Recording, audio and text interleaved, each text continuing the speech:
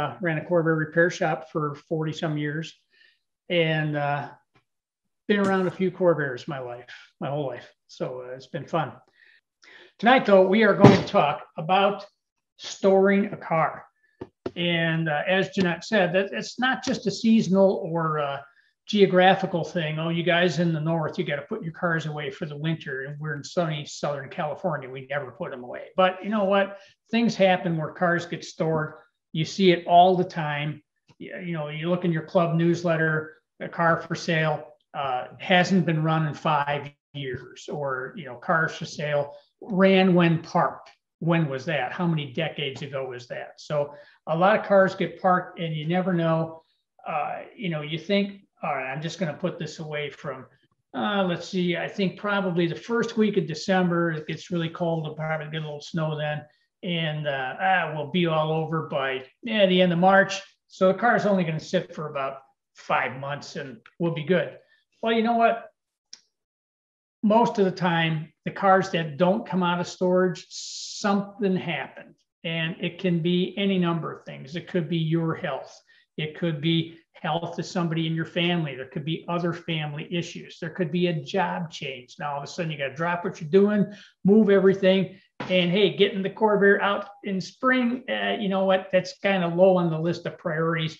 And, you know, time marches on, waits for nobody, and the car keeps sitting. And there's now, you know, there's more important things. There's a jillion reasons that could happen, things that could happen that weren't in your initial plan. And now you're one of those guys that's got the ad out, uh, car for sale, last ran 10 years ago. And, you know, it wouldn't even start now if you wanted to do it. So if a car is properly prepared, you can minimize the amount of effort it will take to get the car going again when it is started back up. And uh, also minimize the damage that you can cause by trying to start it. Now, we're not going to get real involved in talking about how to take your car out of storage. That's a whole different session. And in fact, we have recorded one of doing that. We had a Rampside that was parked for at least 15 years, probably longer. And we did a, a complete session on how to uh, properly start up that vehicle after that long-term storage. That's being edited right now. The filming is already shot. So on our, our next uh, meeting, uh, we'll get that uh, user link out to you for the, that particular video. But tonight we're going to talk about what you should do in preparation for storing your car. Okay. So the first thing before you even put the car away is with the car uh, fully warmed up, go ahead and do an oil change on it. Why do you want to do that? Because with the engine fully warmed up, you're going to have all the moisture uh, should be uh, dissipated within the engine. And when it want to drain that all out, get the old oil out, get the moisture out, get the acidity that may be out. Don't just do it cold. That's not that's not going to help us get rid of the moisture and stuff in the engine. You want to get it uh, with the engine fully warmed up and take off. Obviously, you're going to have the oil cap off when you pour in the new oil. If you see moisture around the oil fill cap, because that's where it's going to collect is the highest point on the engine. Make sure you wipe that all off. The bottom side of the air cleaner lid where your crankcase vent tube exits out, if it's got moisture, wipe that off. Try and get all the moisture out of the engine itself. And then go ahead and uh, finish your oil change, start the engine up, let the oil circulate a little bit. So that's step number one of doing it. Now, we're going to talk about a couple different areas. So they're not necessarily, you don't have to do them in a particular order but we'll just do it in the order it's on my bench. Okay. So the first thing that's going to happen is you're going to need to do something with the battery. Okay. And again, maybe you're thinking it's only going to sit for those four months during inclement weather, but you never know. So uh, the first thing you want to do is always disconnect a battery cable. It doesn't matter which one you disconnect the negative or the positive. Just disconnect the battery cable and you could just let that battery sit like that with the battery cable disconnected. It's really important to disconnect the cable for two reasons. Is one is if you've got any kind of aftermarket radio in it, it's undoubtedly got a uh, tuner in it with uh, electronic tuner or clock, any kind of aftermarket radio has a constant draw on it. And uh, if you leave your battery connected, your battery's going to go dead in about a month or sooner. And once it's dead, if you don't get it charged up right away, uh, you know, come even if it was a new battery, if you had it uh, connected up with a aftermarket radio in the car, when you went to start it in five months, that battery would be flat dead, and I don't think there'd be any hope of recharging it. You know, fortunately, you might have a warranty to go back and say, "Oh, I don't know what happened to it; it just doesn't work anymore." But whatever. So disconnect the battery cable. Okay. Now, I would highly recommend a battery maintainer. Battery maintainer is not a battery charger. If your battery's flat dead and you hook up a battery maintainer, it's still going to be flat dead. It's not the maintainer's job to charge up a battery that's dead. What it does do is keep a battery that is already charged, keep it at that fully charged rate. So I've had very good luck with battery chargers over the year with a few caveats. Uh, you know, the, the price of the maintainers is all over the board. You can go over to Harbor Freight, I mean Harbor Freight, and pick up a, a cheap one, especially if you got one of the coupons, they're like $5.99 and uh, ah, they're okay. But with those really inexpensive uh, battery maintainers, like the Harbor Freight one, they've got one LED light on them that tells you that it's connected up. But the problem with the heart with the single LED one is I'll just plug this in, our little power there, and it lit up. Okay, let me turn the light off here so you can see that it's it's on dimly, but that's as good as it gets. Okay, so we got our little light on the uh, the battery maintainer that says it's powered up. I'm unplugging it now, so the light went off.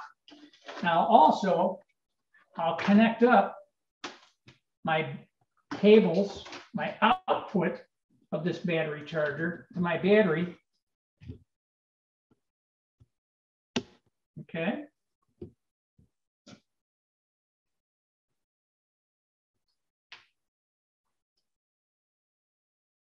I had this apart before because I'm going to show you how to do something on here.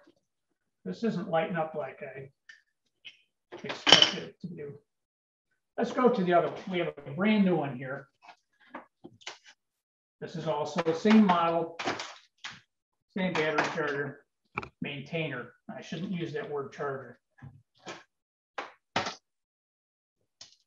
Okay, there you go. This got a real bright LED on this one, brand new one. Here's the problem with the cheap battery maintainers like this. Right now, the light is on. Does that tell you it's working? Well, guess what? I don't even have it plugged in yet. Okay. So if you're looking at that, you say, oh, well, how could that be? Well, this isn't a very smart battery charger because it's low priced. And you have to be really careful about these with making sure that everything is plugged in on both ends. Because if we had our battery maintainer plugged in the wall, our light is on, okay, but it's not connected to the battery, it's not charging anything. And likewise, if somebody unplugged this to plug something else in, or maybe somebody pulled the cord and it came out of the wall, any number of things where the AC power is disrupted to this. Now this becomes a drain for the battery. So you think you're doing the battery favor by keeping it maintained? it's draining the battery by running this LED. It'll take a while. It may take a month or so, but every minute that's on, it's draining a little more power out of the battery. And you think, damn, I had this thing all plugged in. It should have been charged. And then you look and you go, oh, well, it wasn't plugged in. So there you go. So be very careful about if you have, you know, one of these inexpensive battery maintainers with this one LED on it, because if it is uh, on, it doesn't necessarily mean that it's charging. So what I always do, I connect up the power supply here. I got so many power supplies, I'm not sure what I'm doing. I'll plug it. I'll plug it in the wall. I'll make sure my light is on. There we are. I'll make sure our light is on. And then I will follow the yellow brick road. Here we are. fine. Too many chargers here. It's all plugged up, plugged in. Make sure the power's on. Then I'll connect up the battery, unplug it, make sure it's still on. So test it both ways to make sure it is actually connected up and charging. That's the only way you can tell it's one of these. Now, if you spend a little more money, more than the $6 on the on sale item, you can get a better one. This is from a different company. They're, they're, they're all out there on, if you look on eBay or any of the other Amazon, it's all kinds of battery maintainers. Uh, the better one is one with two LEDs on it because it has one for power, AC power, so that you know that the AC is working. And then when we connect it up to the battery,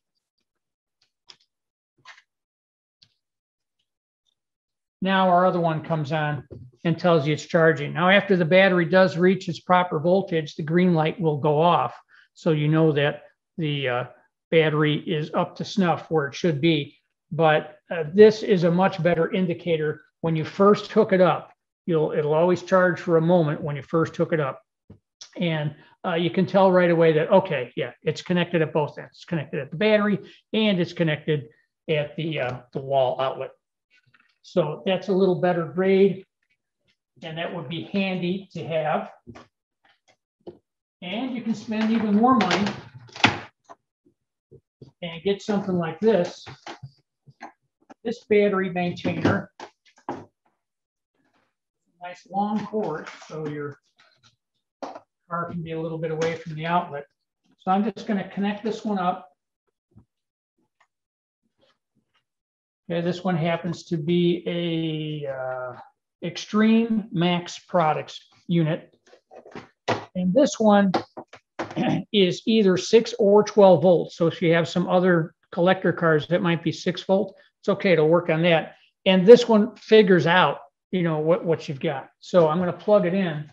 And the first thing it does, it tells us what the voltage is. So in this case, our battery's sitting at 12.5 volts. Okay. And then when I go into mode, I can select if it's a motorcycle battery, or I can select if it's a passenger car battery, or I can go along to a, uh, uh, a storage mode, and also uh, it'll figure out whether you got a six or a 12 volt battery. So I'm going to put it on the passenger car mode because that's the kind of battery it is. And it's going to try and charge it to 13.2 volts. That's its goal to charge it. And it's got a little graph on here with uh, four lines inside the battery. Right now, there's only two on. So that means it's going to be charging the battery until it gets to that 13.3 uh, volts or so. So that's a, a much better charger. Uh, you can just pretty much plug it in and walk away from it, and it'll keep the battery maintained to that degree. It's more expensive. You know, it costs probably, this is probably a, I bought it a while ago. I don't know what they're up to now. It's probably a $50 battery maintainer. Okay. And the other one was a five or $6 battery maintainer. Uh, but they're, you know, this one's kind of foolproof. If we accidentally unplugged it, everything turns off. We're not discharging the battery by trying to power up this as we are with the cheap Harbor Freight one. So that's uh, uh, an advantage with the more expensive units. Uh, one thing I did find out also about the uh, Harbor Freight unit, I've got this powered up right now. What I did is I took the cover off, the plastic cover. It just uh, pried off of here because it has happened to me. I've got battery maintainers on all my cars. It has happened to me. I pulled the car out and I forgot to unplug the battery maintainer. So it usually rips the cord out of the battery maintainer.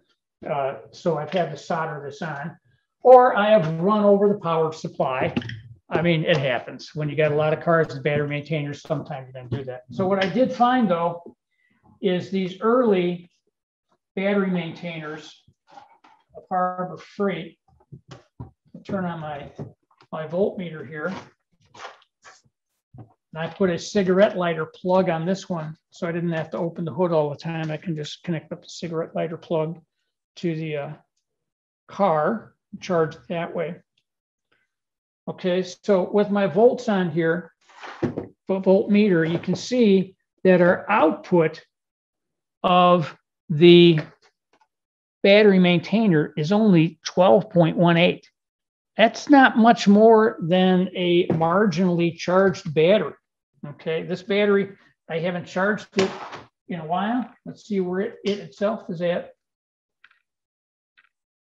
12.69 or so. The amount you want to have a battery maintainer be at is typically in the range of 1325 to 13 and a half volts. That's where you want a fully charged battery uh, in normal room temperature. You'll see it'll be about 13 and a half volts, 1325, 13 and a half.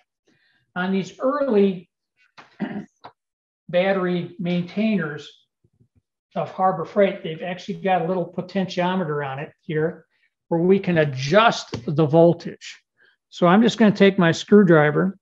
I've got my voltmeter connected up here to the output of this, and I'm going to see how high I can get this. If I can tweak it up any. 24, 25,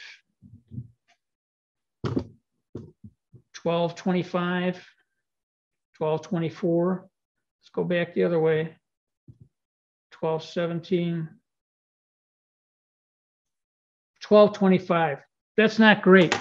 It's better than it was, but I wouldn't consider this a really good battery maintainer because it really doesn't have sufficient voltage uh, to get it up where you want, want it to be. So like I say, on these, uh, these cheap Harbor Freight ones, they're kind of hit and miss. And on the later ones, like our new one, here, they change their design. So if you've got one where the LED is in the far corner, it's got the adjustable pot on it. If you've got a later one with the LED more in the middle, okay, there's no adjustment of this. Whatever it is, is the kind of voltage it makes. So let's just see how many volts. This is a brand new one I just opened up. Let's see what kind of volts it's at. Because what I'm telling you to do is check the voltage. If you've got one of these, check the voltage of it, see what it's at. If it's one like this one, where it's only like 12.25 volts, I'd take it back. Tell them it doesn't work because that's not really going to give you the kind of charge you want. Now, this one, on the other hand, this one is at 14.17. That's kind of high. That's kind of hot. That's not really a battery maintainer that you want to leave on the battery, you know, for for a year, because I think that's going to be a little strong and uh, may overcharge the battery some. Your sweet spot is right at that 1325, 1350 volts. So uh, check check your uh, battery maintainer voltage, see what the output is, because you don't want it too high. And of course, if it's too low, it's not really going to maintain the battery. So that's a little discussion about battery maintainers. Most important, like I said, take the battery cable off when you store it for two reasons. One is so you don't get a drain from anything on the car. Second is in case you get a dead short in the car. Uh, that's not a big problem on Corvairs. I have seen it quite a bit on other cars, especially uh, you know cars from the 50s where they've got the cloth wiring harness. Uh, it's not plastic covered, but the cloth covered. Uh, you can have uh, mice problems, and we'll get into that, uh, where they like to eat on the wires and uh, chomp up that insulation. And uh, that's also kind of a problem on newer cars where they're using the a different type of insulating material on there that the that actually attracts the rodents and stuff to it. Anyway, if you get a dead short on that, while that battery's connected up, you could end up with a fire. Okay, wiring harness get red hot, start smoke, and uh, you can have a fire uh, caused by a dead short. You don't want that because you're not going to be there to see it. All you're going to do is come home to the garage, burn down to nothing with the car with it. So leave one of the battery posts disconnected while uh, uh, the car is in storage. You can hook the battery maintainer right up to the post to keep the battery up, uh, but leave the car disconnected so there's no possible drain from the car. What about taking the battery in the house somewhere? You know what? I don't think I'd bother, you know, really. Uh, as long as you've got a battery maintainer on it, it doesn't matter whether it's 50 degrees outside or 15 below. As long as the battery's got a full charge, it'll be fine. I wouldn't bother to take it out uh, and, and, bring it in the house so you can trip over it in the house. You know, just leave it in the car, just as long as it's disconnected and you got a maintainer on it. So that's my thoughts on a battery. Next down the line.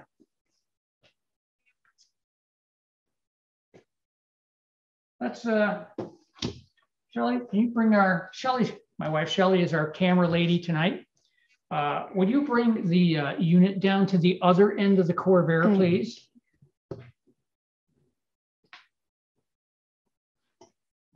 The number one biggest problem of storing a car that I have found is that fuel problem. And that happens on every single kind of car, doesn't matter what it is, that the fuel goes bad.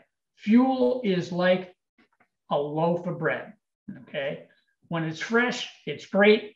And after not too long, it starts to degrade. Okay. It doesn't become so fresh anymore. And you can you can put it in the freezer. Okay. You can doctor it up. You can put some Sta-Bil and stuff in there and make it last longer, but it's never as good. You take it out of the, the uh, refrigerator and uh, you defrost it, and that loaf of bread is never as good as it was the day it was baked. And the same is for gas. Uh, gasoline starts to deteriorate the instant you put it uh, in the tank. Uh, and the worst thing about it it turns into like a tar, tarish type stuff. Is all the light stuff in the gas kind of evaporates off, and you're left with the goo, and that's what's in the bottom of the gas tanks on cars that have sat for so long. And uh, you should never, ever try and start a car with old gas in it. If you can smell the gas and you say, "Ooh, this gas is ancient," don't try and start the car with it you're, you're asking for big problems. Not only are you going to plug up fuel system parts like the carburetor, fuel pump, but with all the light stuff of the gas uh, evaporated out, uh, you're just running that heavy part of it through the engine. Uh, it makes deposits on the valve guides and causes the valves to seize in the guides. So you'll get the, you might get the car started and it'll run, you get it all warmed up, says, eh, Look at this. It's been sitting five years. This thing runs like a million bucks. You turn the car off, you come back to it an hour, you try and start it, and you start and start it, and it's it sounds terrible. The, the compression is all off. And if you do get it started, it's popping and backfiring. Well, it's because it's got stuck valves. And now you probably have some bent push rods. So never start an engine with really old gas in it. If it's a year old, you're okay. Two years old, you're pushing your luck. Anything after that, do not start it with the old fuel. Okay. Some people have always said, fill your tank up before you put the car in storage because that way you, there's no place for any moisture to gather in there. I don't think that at all for a couple of reasons. One is, again, like we talked about before, are you really absolutely positively for sure going to start this thing up and drive it in six months? Stuff happens. So cars sit with a tank full of that old crap gas in there. and then if the system develops a leak, the gas tank gets a leak, a hose rots out, all of a sudden you got a gas leak. Now, what's going to be more of a problem? A gas tank with 14 gallons of gas in it leaking out, or one with no gas in it? No, pretty obvious. So, from both the safety standpoint and the uncertainty of it, I prefer to have as little gas in the car as is possible. And how do I accomplish that? Well, take off my gas cap here. From all the various cars that I've had and worked on, I've got an electric fuel pump here that came off a customer's car. You know, we had the session on electric fuel pumps, and this was on a car. This is a uh, high volume Holley, Holley rotary vane pump, which is a good pump, but it's really noisy. You know, I mean, you wouldn't want that on a daily driver car. So that's where I took it off of that car. And I put a, a quieter gear rotor pump on it. But this was a good pump, and I thought, well, I'm not going to throw that away. This will make a fine transfer pump. So that's what I did. I just bolted it to a plate. I put on a cord with a couple of alligator clips. I put on some hose. I got a fuel filter going in before the pump itself because we don't want to have any debris going into the pump. Got a fairly long flex hose. And I put a little metal tip on the end of that hose. And I'll tell you what. So first I'm going to straighten out the hose. I'm going to slip it down here. You can feel the point at which you get to the end of the neck and start to enter, enter the tank because it'll hang up just a little bit right there. And if I twist it a little bit, it'll go, go past it. And I'll push it down until I can both feel in the hose and hear that metal piece hit the bottom of the tank. Hear that? Okay, we're at the bottom of the tank right there. So I'm going to pull it out and see how much gas we get. Not that much, only a couple of gallons. So that's not a lot. We're at the end of the filler neck, give a little twist, a little further right there, end of the tank. Now you notice the other end of my hose here, I've got connected to a Corvair fuel line, the one that goes into the fuel pump. So I also use this for test engines when I want to start up a, an engine uh, on the floor or something, or in a car that has had old gas in it. So I don't use the fuel that's in the car itself, but go to a uh, outside source so I can uh, prime up the system. So I'm just going to put that in our collector uh, connect up our battery. Going to power up the pump. There we go. Our pump's going. And we are pumping fuel.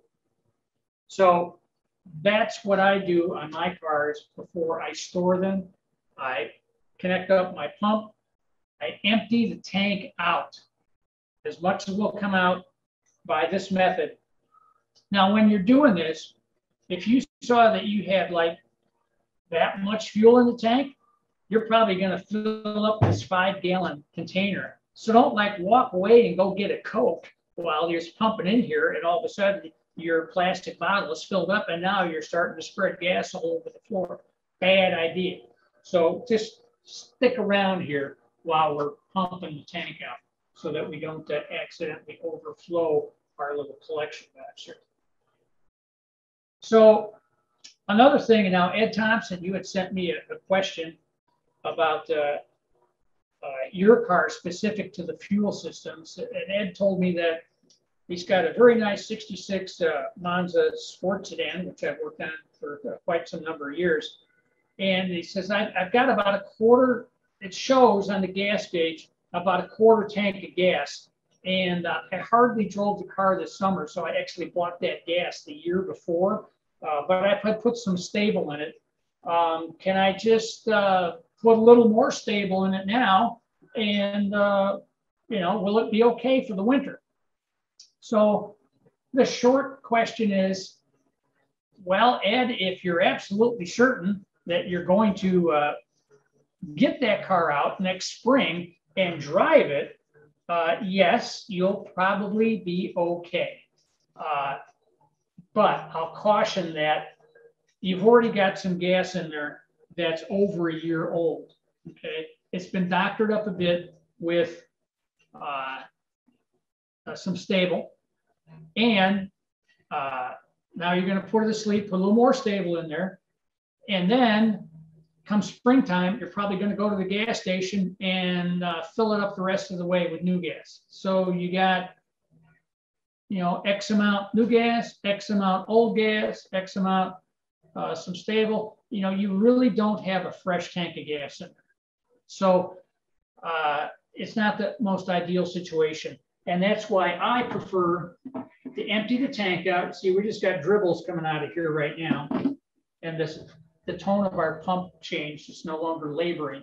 So I'm going to disconnect it, my hose, and we're not showing any gas on here anymore. So we've emptied out our tank almost to the bottom. Okay, as much as we can get out with our our uh, our pump assembly here. And uh, now, when I go to start that car up, come springtime, I have to put some new gas in it because there is no gas in the car. So that's one way to make sure you get fresh gas when you start it up is that empty out as much as you can. And then come springtime, go ahead and uh, put in your new fresh gas. And uh, the old gas I took out, put that in the daily driver now. Get rid of it, use it up before it gets too old. Okay, so you're not really throwing that gas away. Use it in something else that you're going to use up right away. So that, that's my recommendation. And now if a fuel line uh, starts to get soft and have a leak, the gas tank springs a leak, we're dealing with a much smaller quantity of fuel. Okay, any gas leak is a problem in, an inside area, big problem.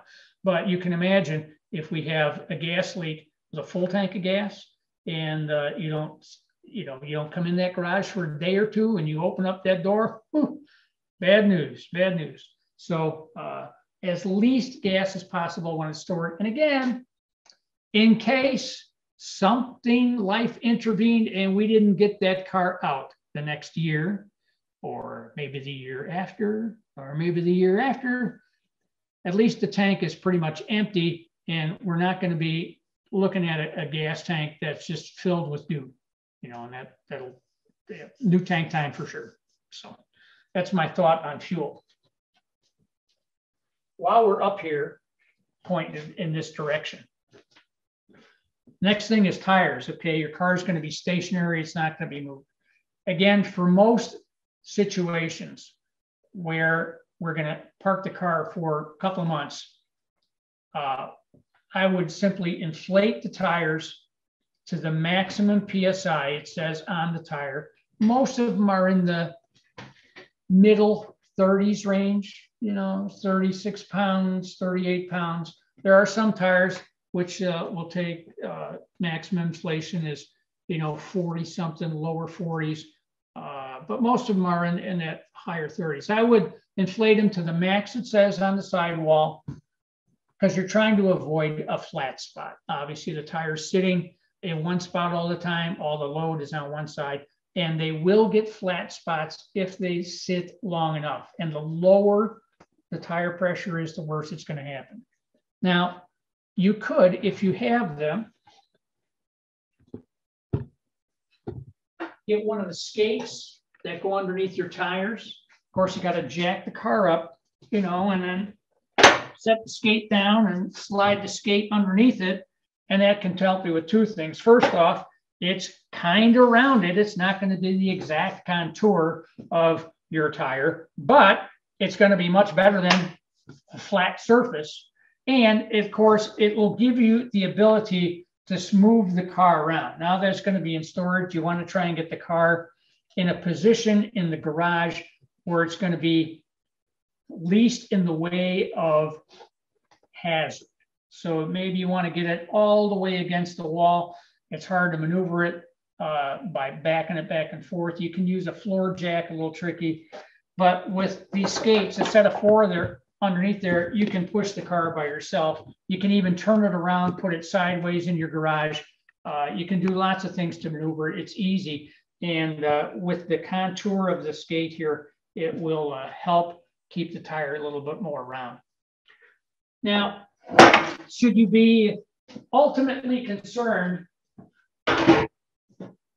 about the tire? Well, what I would do is I would look and see how old your tires are. And uh, this is common information, but I still run across a lot of people that say, well, I don't know how to tell how old it is. It's very easy.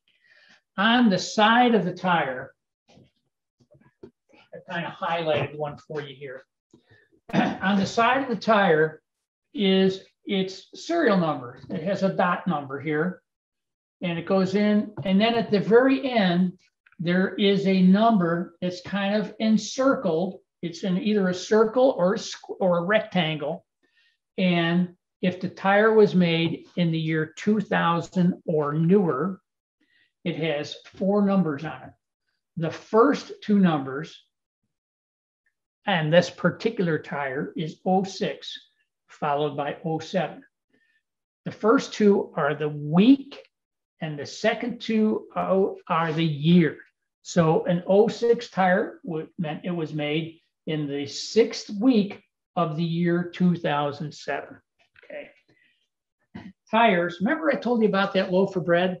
Tires are just like that too. Uh, they're fresh when they come out of the mold, but they have, a certain shelf life. No tire manufacturer warrants their tire for any reason after it has turned six years old. Okay, so once the tires turned six years old, you got a problem with it, the tire manufacturer is going to say, hey, you need to get a new tire. You, you, you, you, you, you're at the life, the expected lifespan of a tire. And I know there's lots of Corvair people driving around with tires that are five, six, 10, even 20 years old. And uh, you may look and say, I've hardly driven these things. They've only got about 3,000 miles on them. They look like new. Well, you know what? They also have the grip of a tire made out of bakelite. I mean, they, they lose their grip when they get they get old. They just aren't soft anymore. And the most uh, important thing is, uh, especially on the radial tires, bias is not as bad. But radial tires, which almost all of us have now, uh, the tread will separate. And I've had numerous people, uh, and some of you listening surely have had experience with tread separation.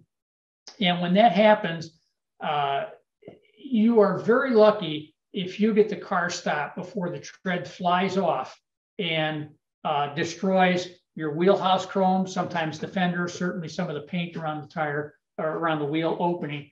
Uh, beyond the cost of the tire, suddenly uh, the flat tire has caused you four or five hundred dollars or more in body damage, and uh, that was it's going to be totally predictable if you have an old tire. So, what's my rule of thumb?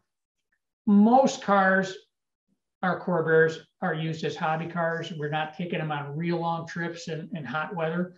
Sometimes we do. I go to the convention every year. I drive my Corvair. I'm on the highway you know, 75 miles an hour for as many hours as it takes to get there. So I make sure that my tires, you know, on the outside, because the cars are inside, so they're not getting ultraviolet, uh, you know, sun radiation, uh, which, you know, hardens the rubber and stuff.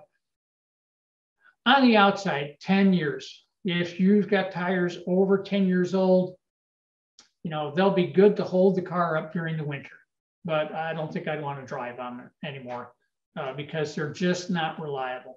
So if you look at your tires and they're already 10 years old, you don't got to do any of this stuff as far as storage. They're already no good. So as long as they hold air so the car stays up off the ground, that's all they're good for at this point. So I wouldn't bother with anything special doing with the tire. But if you got some new tires, you might think about uh, you know having something that's more contoured than the floor, inflating them up to the maximum pressure uh, if you want to get really involved, if this is going to be a known longer term storage, I would jack up the car and place uh, the car on some jack stands so that the suspension is hanging so you don't have any weight on the springs and of course none on the tires. But again, the tires still age, just like that loaf of bread, they're still going to age. So if the car sits there for 10 years and you get it out, say, oh great, these tires are great. They're just like new. Well, those are not. They're 10 years old. So let's keep that 10 year old thing in mind. Now, I told you about these tires made since 2000 have the four numbers.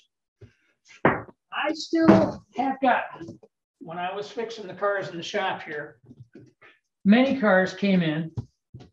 Here's our dot number, and here's our rectangle on here. And inside of it, there's only three numbers. Now, this one isn't highlighted, it's punched in, and it says 252. What's that mean? It's not four numbers. This tire was made before the year 2000 because back then in the uh, 80s and 90s, the manufacturer said, huh, nobody's ever going to keep a tire more than 10 years. We don't need to date that. so this tire, 25 is our week, and the number two is the year. Could it be 92? Maybe. Could it be 82? Maybe. We don't know. But if your tire has only three numbers, it's good. It's a good tire for the museum. You don't want it on your car. Sometimes you can tell by the the uh, the type of white wall it has or the brand it is. Uh, you know, this is kind of an off the wall brand. What is it? An elite. Well, no, it's a Lee. It's a Lee tire. Uh, I've seen cars with a uh, a Goodyear Arriva on them. You know, they had a nice big wide one inch wide white wall on the Arriva. Man, those things, they quit making those in the late 80s. Anytime I see a car with that on there, a, that's a show car, comes in and out of the trailer. It looks great on there, but they shouldn't be driving that on the road. So three numbers, bad. Four numbers, it'll tell you exactly the year the tire was made. And by the way, that full number is usually only on one side of the tire. If it's a white wall tire, it's pretty much always on the back side. Uh, some very new tires have the production date on both sides, but generally speaking, it's only on one side, which means to check it, you probably are going to have to get underneath the car with a flashlight. And you may have to move the tire to, to get it to the right spot where you can see it. But uh, you know, do check your tire date because a lot of us don't really know how old's a tire. And just because you just bought them last year, that doesn't mean they were made last year where was that tire sitting in some tire dealer's shelf up on a rack for two years? It could be older than you think. So it's good to know how old your tires are. Again, if they're if they're anywhere like 10 years old, you better plan on getting new ones when that car comes out of storage because you don't want those on the car uh, to be on the road. So, all right, let's talk about Let's talk about mice. Mice are a big problem, and I don't need to tell you that because you've all gotten cars that uh, we would consider having had a mouse house in them. So our uh, our biggest deal is to keep the mice out. Uh, mice are going to cause huge amount of damage if they get in. And it can be other critters too, but mice are the most common. So there's all sorts of stuff that we know about. There's the actual good old fashioned mouse trap. Okay, that works fine. The only problem is you got to check it pretty regular to make sure that uh, it hasn't already caught somebody. Because if it did, it's served its purpose. Now you got to you know reload it or get a new one.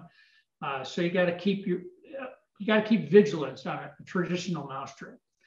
Uh, there are there's mouse bait that you can put out. It comes in either pellet form or block form. You put that around the car, and uh, hopefully the mice will find it instead of your car, and they'll they'll chomp on that, and uh, then they'll they'll die. Hopefully not in the car, uh, but uh, you can do that. Uh, some people like mothballs. I'm not a fan of that because once you put mothballs everywhere in the car, when you get it out in the spring, that's what your car smells like is a mothball car. And you go to a car show and you walk up to one and you go, oh, yeah, he used mothballs, you know, and you think yourself, "This is a dumb idea. I don't want mothballs in your car. Really, really stinky. Uh, I have used uh, this product. It's called Fresh Cab. It's uh, a mixture of uh, some uh, what they call it, botanical rodent repellent. Uh, you open up the package that activates, it's, in a little bag that, that kind of breathes. and uh, it smells pretty good. So I, I put this a couple of these bags in the interior of uh, my cars that I store, and uh, it's got a pleasant smell to it. It's not like the mothballs where it makes you want to think, oh, is that dumb? This stuff smells okay, and I, have not had any issues with with mice infestation. But you've got to uh, you got to make sure your your garage is reasonably sealed. Mice will get in through any tiny hole. I mean, you're not going to mouse proof your car and the garage uh, 100%. So you got to do things to try and keep them out. So one thing is on the car itself, turn all the heater controls all the way up so that you close the vents in the system, close your fresh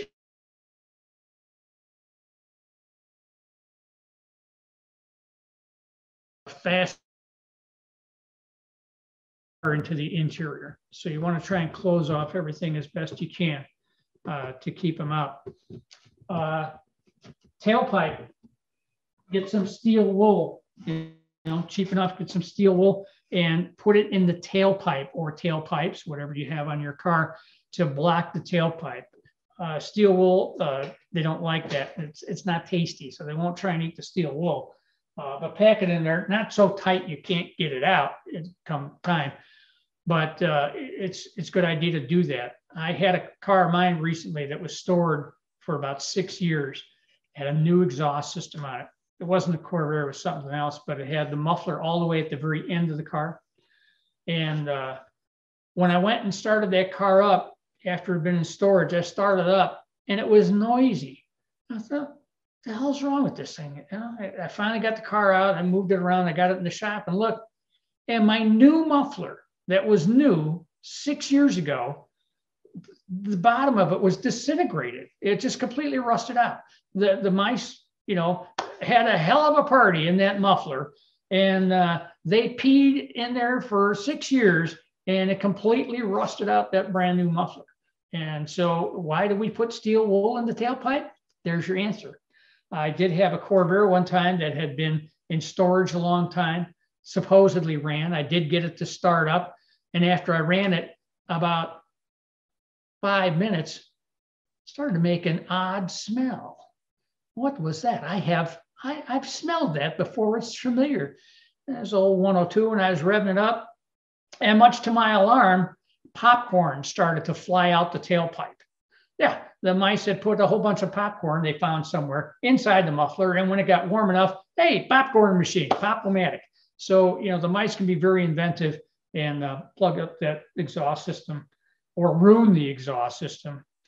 Uh, hey, so, hey, Larry, we have a yeah. question. We have one question asking if you could repeat the name of the mouse deterrent, that little package that you had. Oh, sure. Yeah, it's called Fresh Cab.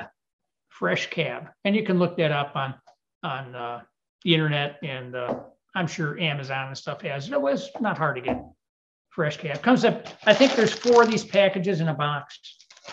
And, uh, you know, this is good for one season. You know, this doesn't, it doesn't, doesn't last forever. You put it in for one season and that's it. That's all it's good for. But it, uh, it, it, it is good. You know, I've liked it. Uh, the other thing is that uh, you just want to make sure there's nothing else in the car that's going to get damaged. I would take out everything in the glove box that's paper. Uh, I've had a number of cars come in where the mice have had their way with the car and the once formerly nice owner's manual and other stuff disintegrated, ripped to shreds.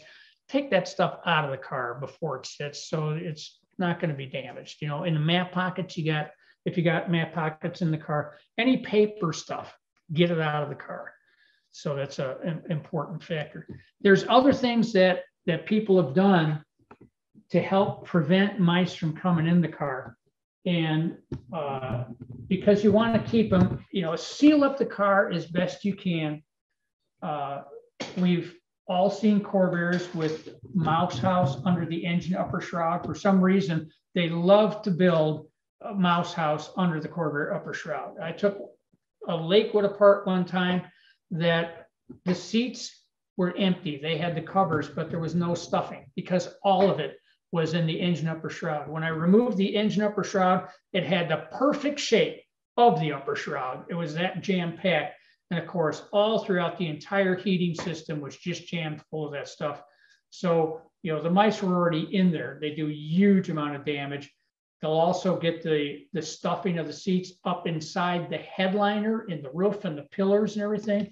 And, you know, if you get a car with that kind of damage, the best thing you can do for that interior is take it out and put it in the backyard and set it on fire. And because you're going to need a new interior, you will never get rid of the smell that that, that kind of infestation has caused.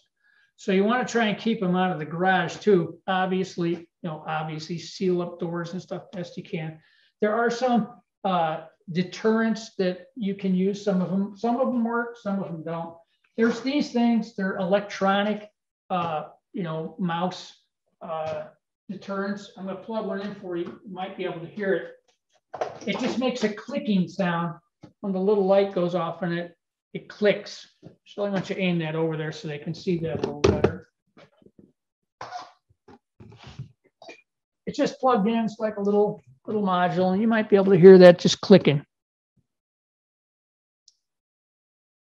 It's like a real slow turn signal flasher. Eh, that's all it does. So it's it's pretty. Uh, it's not troublesome. It doesn't bother you. It takes almost no current. So in my garages, I've got these plugged into a bunch of the outlets. They're really inexpensive. I think I got them at Harbor Freight. Uh, there's other ones that you can get. You know, there's plenty. There's plenty, all kinds of mouse repellent stuff. But that's one way of doing it electronically. I read another. I actually heard it on a radio show. One item that I thought was pretty clever and that was one that's real easy because everybody has one of these laying around. A radio. The mice don't like the noise. So get a radio. Everybody's got one laying around they don't use.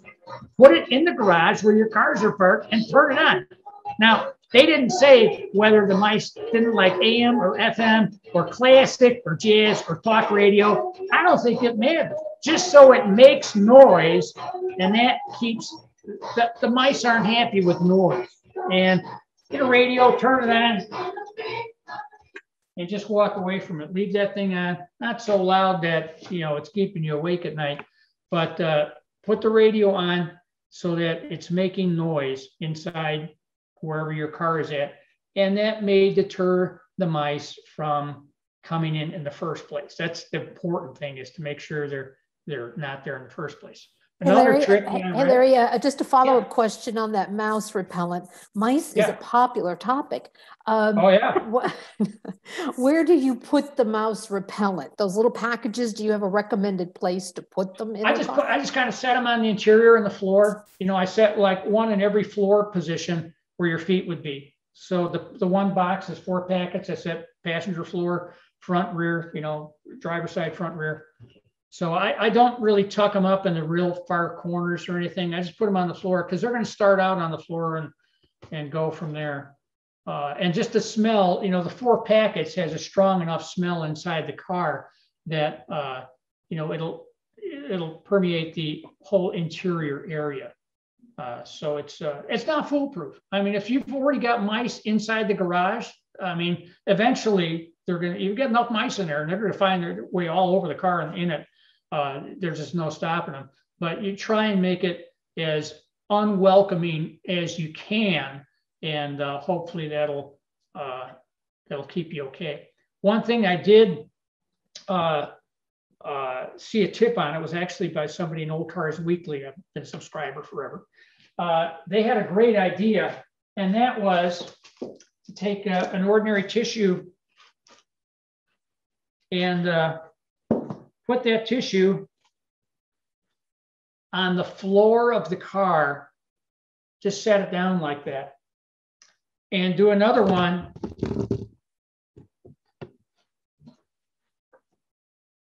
And set it on the floor where your car is at somewhere, somewhere where the wind is not going to blow it away. Okay, so maybe you want to put it under a little bit and occasionally check on that tissue.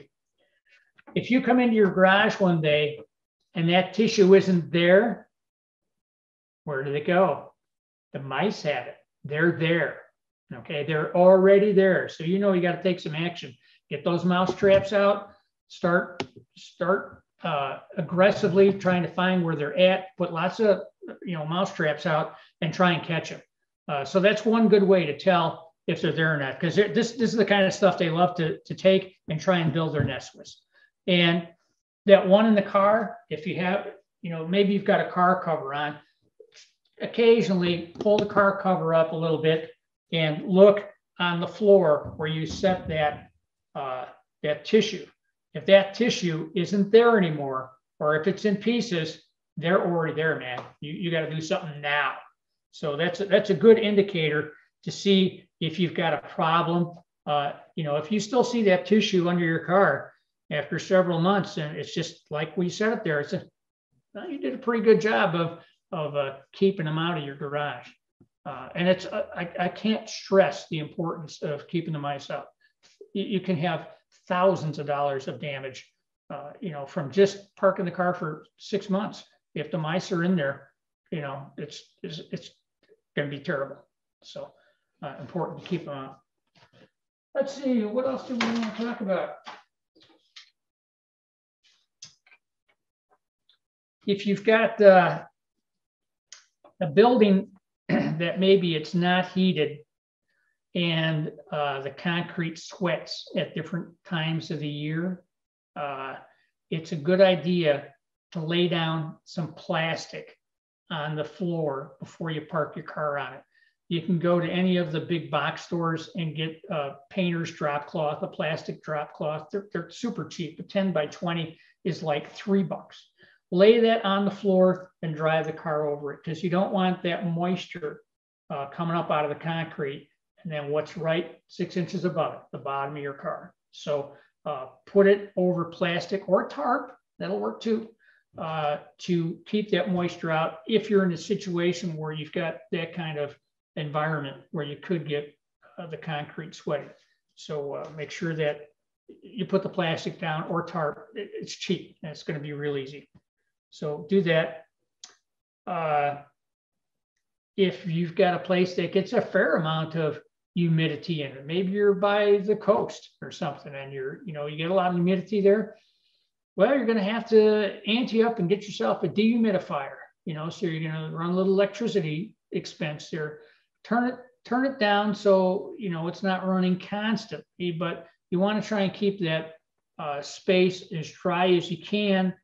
Uh, but if you've got a humidifier, you've got to be able to have it drain somewhere. Okay, so if there's no drain where you're at, that means you're going to have to come by and, and visit your car fairly frequently to drain out that humidifier. If there's a drain in the floor, put the hose on it to the drain and, and then you can pretty much leave it alone. But, uh, you know, keeping the car dry, that's important, especially in the underneath areas because that's where it's going to get the most amount of moisture. One thing I do uh, with my cars is I, I've got an old uh, oscillating fan. I don't know, I think I got it at the Goodwill or store or something. And I've got it on a timer and that timer is set to run one hour a day. And I put on that oscillating fan. I got it plugged in. It's same kind of at floor level.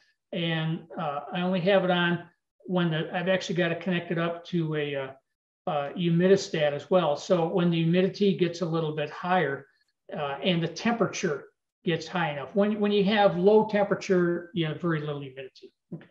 So when the temperature gets up uh, to 40 or so, then my fan turns on and it just oscillates. It blows air around for, uh, you know, an hour or so a day. And that keeps it from concentrating in one place. You know, the room may be a little bit humid, but we don't have it all clinging in droplets to the bottom of the car. So uh, the fan and the dehumidifier. You know, if you're going to be serious about this, if you got a nice car, you want to keep it nice. So it's going to take a little effort and, you know, you might spend a little electricity to do it, but that's, that's what it takes. And that's it for, except for a car cover. A car cover is always a good thing. At the minimum, I would say uh, get another one of those inexpensive drop cloths, cost you almost nothing just lay it over the car. You might have to cut a little hole for the antenna, and that will keep the dust off. You know, almost anywhere you put it. I know in my garage, my car garage, you know, I'm not doing any work in there, but Jesus, everything gets dusty in there. So put the, you know, the inexpensive drop cloth on there. You can get a real car cover, a custom fit one. And somebody wrote in a question, where can I get one for my Greenbrier? Well, go in the Clark's catalog in the car cover section, and they have one for every model. They got one for Rampside, they got one for the Corvans and Greenbriers, they got them for all the cars. They have several different materials. You know, there's a huge variations in uh, car covers. There's lots of universal ones out there. Universal, you know, it means fits nothing really well. And you can uh, put a universal one on there. It'll do its job. It'll keep the car, you know, keep it from getting dusty. Uh, so will the three dollar drop cloth. So uh, you know, covering the car is a good thing. Now, if it's in your home garage and maybe you got some kids, uh, maybe you got another car that needs to park next to it, that presents a new problem. And that's uh, accidental things falling against the car, like bicycles coming in and out of the garage, uh, the lawnmower coming in and out, the uh, other car, somebody opens the door a little too far, boink into the Corvair. What you should do, again, uh, you know, uh, before you throw out those old comforters and things you uh, really don't want anymore, or you go down to the Goodwill store, pick up a nice comforter and lay, you know, put your regular car cover in place and then lay the comforter over the side of the car that is going to be exposed to the hazard. For instance, I have one over here. Be right back. I have to go to the parts department here.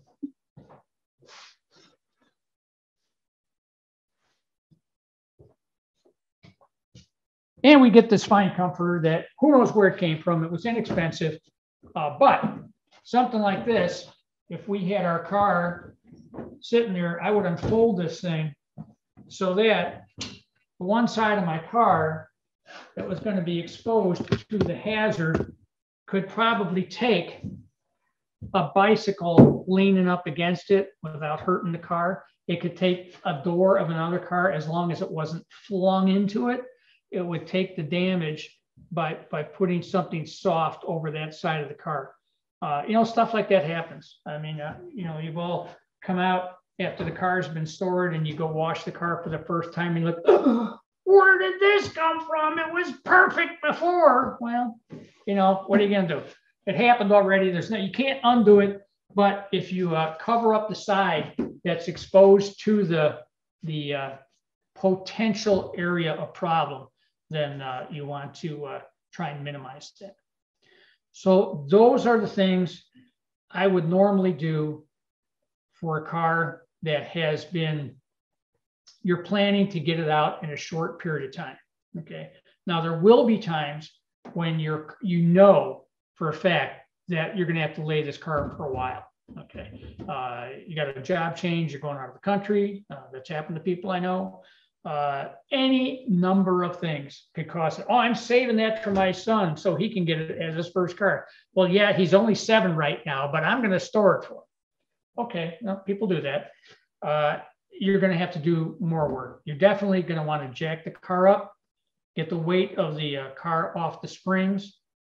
I would probably get some sort of compound like uh, Cosmoline or something like that. It'll spray uh, there's a number of products like this with a spray nozzle, you know, a little nylon tube in it. And with the suspension extended, I would try and spray this up to coat the shock absorber rods because when they're left exposed for a long period of time, they are going to get some rust on them. So I would use something like this on the uh, uh, shock absorber rods.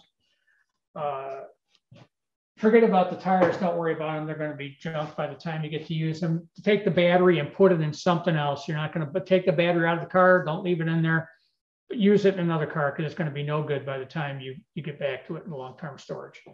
Be sure you run all the fuel out of it. So after you drain the gas tank, start the car up, let it idle till it quits. We want to get the fuel as much as we can out of the lines, out of the pump, and use up as much as we can inside the carburetors because we, we know that that's all going to turn into nasty stuff. So we want to try and get all that out that we can. And uh, what else do we want to do for, for uh, extreme long-term storage? Hey, Larry, you, you, you talked about um, running the gas, running it dry. Yeah. Uh, a question came in, and I think it was probably around a little bit shorter term storage. Um, do you run it dry for shorter term storage? And do you put in Sta-Bil in the gas remaining in the tank, some kind of stabilizer? Yeah, yeah, it's it's good to put in Sta-Bil. Now, now keep in mind that you should be putting in the Sta-Bil before you pull it in the garage to store it. You want the Sta-Bil to be able to mix with the fuel. After the car's sitting there and you just dump some Sta-Bil down the filler neck, it's not really going to mix with all that fuel very well if it's all sitting still you know so that the last day that you're going to be driving the car put the Sta-Bil in so that the Sta-Bil mixes with the fuel. It's in the fuel that's in the lines. It's in the fuel pump you know so it's in the system uh, instead of just dumping it in after the fact. And uh, let me get a bottle of Sta-Bil here. Because it's an important thing to remember. Now i've got the Sta-Bil 360 here, and I've got Sta-Bil 360 marine. They're very similar. The, the one for the marine uh, is a little more uh, aimed towards ethanol type gas. Uh, but they both say they're, they're safe for ethanol type thing. One thing that you should keep in mind, you know, your it tells you how much to put in. Did you ever read the fine print on this? In every one of these Sta-Bil things, it says stabilizes fuel up to 12 months. That's it. It's supposed to stabilize the fuel for up to 12 months. So if you've got gas that's already a year old and you're going to say, well, I'll put some Sta-Bil in, it'll be better. Well, the gas is already old. You know, the Sta-Bil is not going to, it doesn't regenerate the gas that's in there. You know, you got to start with the fresh gas to uh, uh, have the Sta-Bil uh, help preserve it. If you, it's already old, it's already old. You can't take it back. So, uh, so Sta-Bil is a good thing. Uh, you know, on, on, my cars, when I go for short term, uh, I, I, take the fuel out of the tank and uh, uh, you can start it up and just let it idle until it uses up what's in the lines in the system. And that way you don't have a problem if it turns out to be a little bit longer than you thought it was going to be. Like I say, you know, my crystal ball doesn't work for crap, you know, and I don't know anybody else who's works really good. So can we absolutely guarantee that we're going to drive this thing in six months? You can't do it. You, you don't know. We don't know what's going to happen. So uh, prepare it, plan for six months, but prepare it like it's going to be six years. So that's that's that's a good philosophy to take. So yeah, go ahead and run the fuel out of it because that's I mean guaranteed. You know, the usual four suspects, that's what I call them battery, tires, brakes, fuel system. Not much you can do about the brakes. I mean, if your car is accessible, you can get in there anytime you come by, once a month maybe. Step on the brake pedal a couple times, exercise the wheel cylinders, you know, make them move around a little bit. Uh, that will help. And uh, tires, nothing you can do about it. Uh, fuel, nothing you can do about it other than the Sta-Bil to help preserve it. The battery, put a maintainer on, but you know, they get to a certain time period and they're not really serviceable anymore. So, uh, you know, hopefully everything works out like you think. And then in May, you start up the car and it runs like new. So, so Larry, there is a question that came in on the chat about battery maintainers. Um, yeah. The gentleman wrote that he has an aftermarket radio in a mm-hmm. 65 with the fused 16 gauge wire connecting the disconnected battery cable to the battery post yep. and a maintainer connected to the post. Should I not be using that radio maintainer wire? Should he still be using well, the radio maintainer? The, the, the, radio maintainer wire is the one that uh, has the memory for the radio. So it remembers what time it is, what stations you preset, all that stuff. That's what the power drain is going to be. That's your residual uh, you know, drain on the battery. Very small current, but leave it on there long enough and it will kill the battery. So like I said before, what you really should do is just simply disconnect one of the battery terminals. I don't care which one, positive, it doesn't matter. Disconnect it so nothing is connected in the car to the battery. Yeah, you're going to lose the memory on the radio. Hey, you might choose some new radio stations next time you turn it on. You never know. So, uh, you know, disconnect the battery so you don't have any power going through the car itself because uh, you don't want any shorts to melt everything down. And put the battery maintainer, you know, your charger maintainer just on two terminals to keep the battery up. I hope that answered the question. But that's one of the, the big problems is, you know, the, the memory radios. And if you have a newer car, really anything built uh, from pretty much the, uh, oh, I guess uh, early 80s up, everything's got computers, they got digital this and electric that and everything. Huge drain. If you take a new car and you don't use it for a month, you're only gone for a month, you go back in, your battery has a certain condition known as FFD. You figure it out. That's freaking flat dead uh, because all that stuff drains the battery. Yeah, they have a mode where they go to sleep, you know, after a certain amount of time, but they your battery's dead after a month. So, and you do that too many times, you, you kill your battery flat dead like that, you know, five, six times, you're going to be shopping for a new battery pretty quick. So. There was there was a question, but someone uh, answered. But I'll ask your your opinion: convertible top up or down for the winter? Oh, oh, thank you. Top up. Put the top up first thing. You want to put a neon sign on the car? Says mice come on in. Leave the top down. That's going to be great. The other thing is that when the top is down of course it's it's just kind of being loosely folded kind of like your t-shirt in the t-shirt drawer. And when you pull it out it's got all these creases and it's not quite straight anymore. Well it's the same thing with the convertible top. If it's been down like forever you know, a whole season when you go to put it up you can have a lot of wrinkles in it. And when you try and put it up, you're going to find it's about that far away from being able to clamp it at the windshield header because now it needs to stretch out. Well, so you got to put the car out on a nice, hot, sunny day where it's nice and warm. So things get a little loose and you can close it.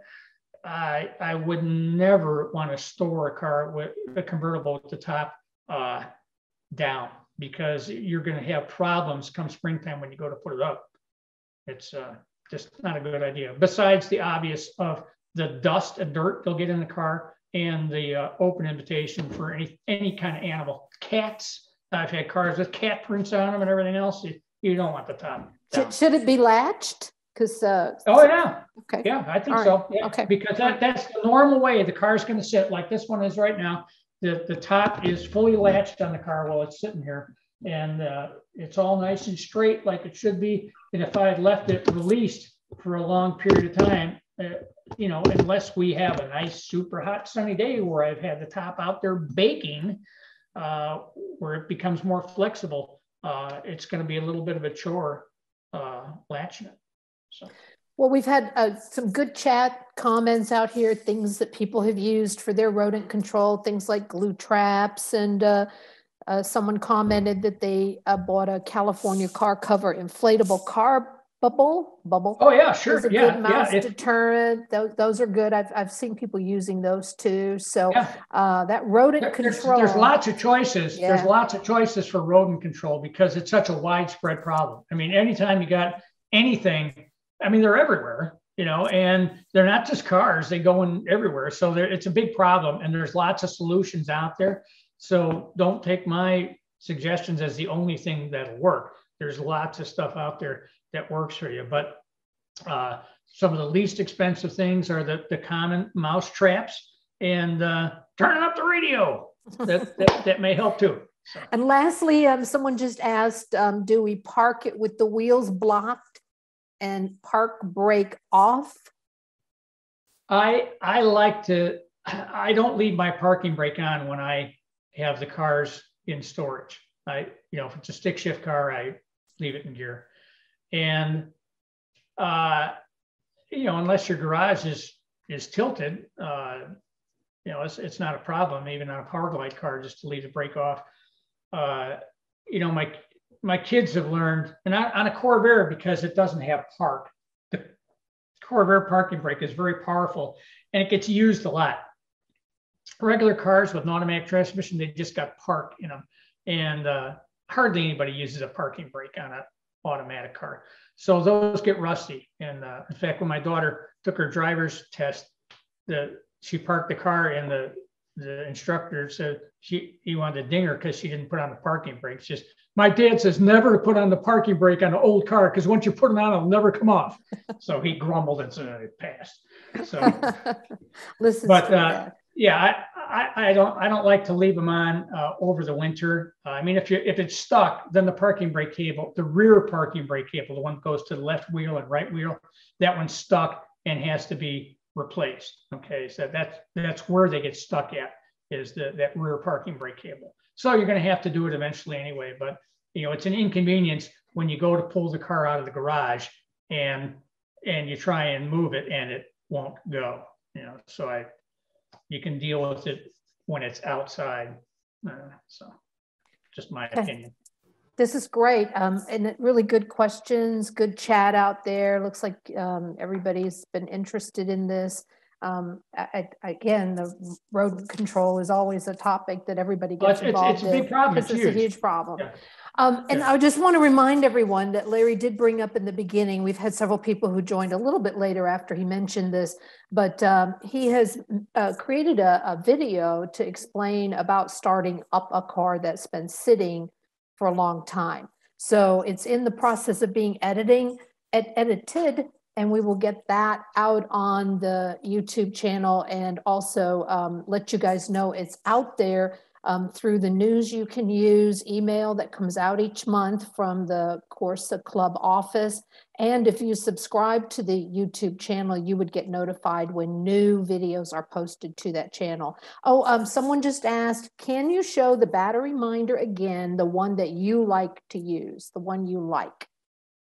Well, yeah, sure. There's a couple of them that I like. One of them, let's see, I've got so many on the table here. Let's find it. Uh, this is the least expensive one that I have found. Uh, this is the least expensive one that I found to be a, a, nice one. It's got two LEDs, a red one, which shows that it's got AC power, it's plugged into the wall, and then a green LED, which indicates that it's actually charging. Okay. It will never light up the green LED if it's not making contact to the battery, and it will never light up the red LED if it's not got power at the wall. So this one is, is an inexpensive charger. Uh, it, doesn't have a name on it. I'm not sure exactly where I got it, but you know, it's a pretty, uh, pretty simple thing. And I'm sure you'll find it on eBay uh, or similar Amazon, whatever. And so this one is an inexpensive one, but it doesn't give the uh, false indication that the the super low priced Harbor Freight one does with just one LED. And like I say, the problem with the, the Harbor Freight one is that it will work when either it's plugged in the wall or the battery, this LED will light up and gives you a false sense that, oh, it's working. Well, no, it's not. It's taking power from the battery and not charging up anything. So if you've got one of these, they do work if you test it to make sure the voltage is good, like this one was too high, the other one was too low, be careful on that and make sure they're plugged in properly. So it's, it's you know, the little money you saved by buying this as opposed to the other one, I don't know that it's a, a good choice. Uh, but that one with the double LEDs is, is okay for an inexpensive one. Uh, this one is really the, the the best one. I did get this one off of uh, uh, eBay. This one is made by Extreme Max Products, and this one is uh, got a digital display uh, that comes on. It uh, it doesn't as soon as you unplug the uh, power cord, the LED display goes out. It doesn't it doesn't take any power, you know, from the battery and it, it, it also works on six volt and motorcycles too. So it's got different charging rates for the different uh, batteries and whatnot. So uh, this is a this is a nice one that's pretty compact, and uh, you know the cords are long on it. They're good heavy duty, nice clamps and everything. So it's a good one that's not a whole bunch of money. Uh, there's all kinds of other battery maintainers uh, you will find a plethora of different kinds. Some are very elaborate, and uh, I don't know. Some of them cost as much as a battery, you know. So I, I don't know that that's a. I suppose that you're going to keep the the uh, expensive one forever, and uh, the batteries will come and go. But uh, as a as a just a a nice one that uh, I like. I like them both. So if that answers it, I think it does. All right. Um, we had uh, lots of folks on tonight. Lots of folks hung in there with us. I think everybody's ready. Yeah, we now. ran. We ran a little bit late. That seems to be a pattern I've got here. because it's so interesting. Um, so I think everybody's ready now to kind of put their cars away. If you are in an area of the country where you don't drive them primarily because you don't want the salt from the road on Right. your cars. Um, listen, we lived in Illinois. We drove our cars in winter as long as there wasn't salt on the road. So uh, I think you know we can drive them year round. But um, thank you everybody for joining. And Larry, once again, thank you so much. Very informative and uh, getting all your uh, show and tell items here. And I want to also thank Shelly uh, Claypool, who is our um, uh, uh, camera operator here. Uh, Yes. who She uh, hope she Did a gets great job. paid well there in her union duties there. So uh, again, thank you guys so much.